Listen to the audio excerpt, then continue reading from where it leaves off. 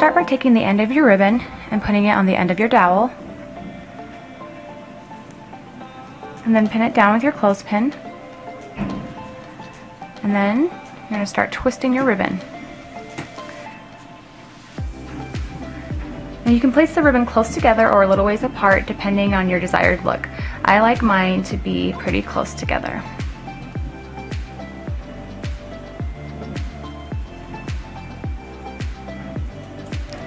And just keep twisting.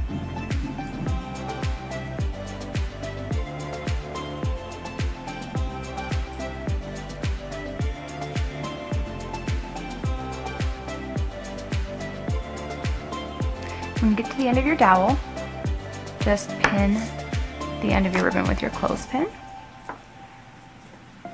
And then cut off the end of the ribbon. And your ribbon is now ready for baking. Now that your oven temperature is set to 275, go ahead and put your ribbon in. I've already put my ribbon inside the oven. And set your timer to 25 minutes. And of course, oven temperatures vary, so be aware of that as you're, as you're baking your ribbon.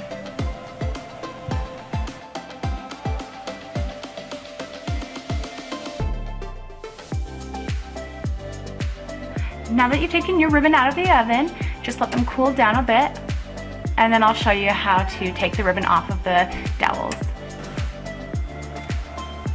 Take the clothespins off the ends of your dowel And then go ahead and start sliding your ribbon off of your dowel.